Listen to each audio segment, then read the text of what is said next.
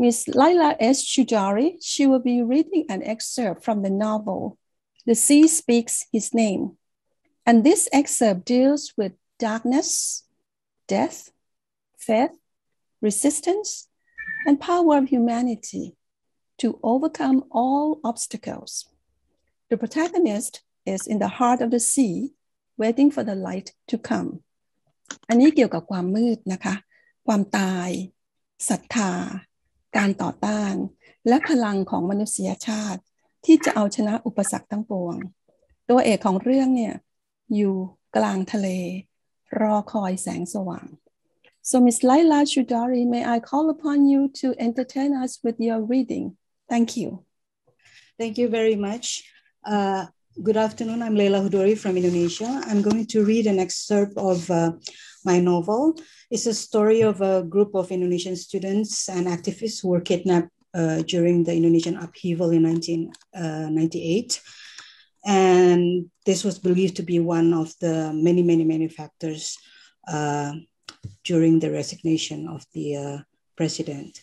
Um, the story that I will read is at the end of the novel. It's where the protagonist under the sea spoke to all of us what happened to him and his friends.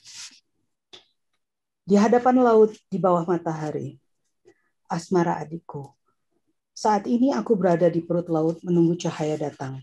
Ini sebuah kematian yang tidak sederhana, terlalu banyak kegelapan, terlalu penuh dengan kesedihan. Kegelapan yang kumaksud adalah kau tak tahu aku berada di sini dan mencari-cari di mana aku berada. Karena itu banyakkan saja namaku laut, di sanalah tempatku. Di dasar yang gelap, sunyi, diam, dan tanpa suara. Menurut sang penyair, kita jangan takut pada gelap. Gelap adalah bagian dari kehidupan kita sehari-hari. Pada setiap gelap ada terang, meski hanya secercah, meski hanya di ujung lorong. Demikian ujarnya. Tapi jangan kita tenggelam pada ke kekelaman. Kelam adalah lambang kepahitan, keputusasaan, dan rasa sia-sia. Jangan pernah membiarkan kekelaman menguasai kita, apalagi menguasai Indonesia. Di Belangguan aku hampir saja mencapai titik kekelaman. Aku menyangka peristiwa Belangguan akan mematikan aku sebagai seorang mahasiswa yang percaya pada perubahan yang lebih baik.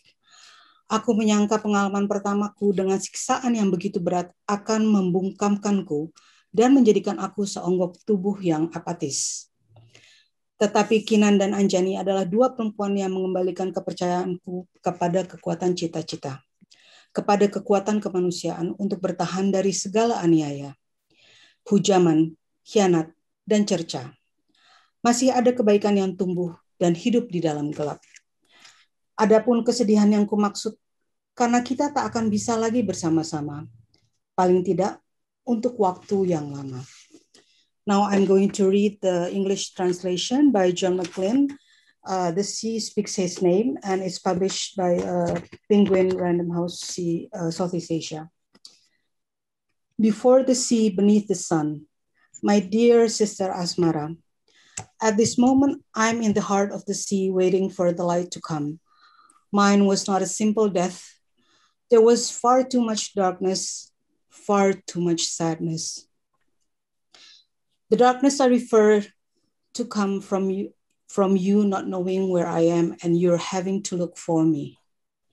So think of my name, Biru Laut, or the Blue Sea, and that is where you will find me.